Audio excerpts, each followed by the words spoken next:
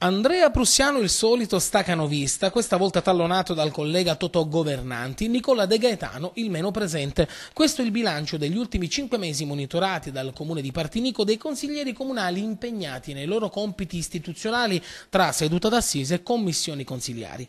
Emerge una classifica abbastanza ondivaga dove viene fuori che accanto a esponenti del civico consesso super impegnati se ne affiancano altri che invece sono sostanzialmente poco presenti.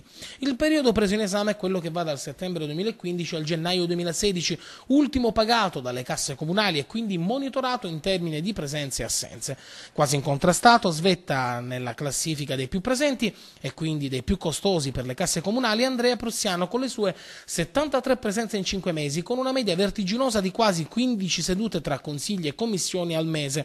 Per effetto dei 30,26 euro lordi pagati a presenza, il consigliere della maggioranza a sostegno del sindaco Salvo Rubiundo è riuscito a raggranellare 2.211 euro di indennità. Subito dietro, tra i più presenti in consiglio, troviamo Governanti, esponente della maggioranza, che in questi cinque mesi monitorati ha invece raggiunto le 65 presenze e 1.971 euro di indennità.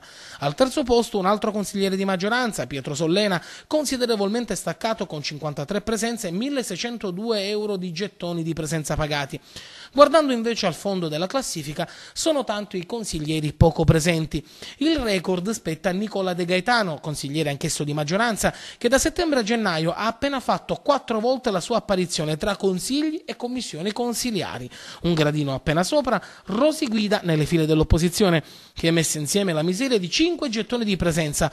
A ruota seguono Valentina Speciale della minoranza con otto presenze e Giusidorio della maggioranza con dieci presenze.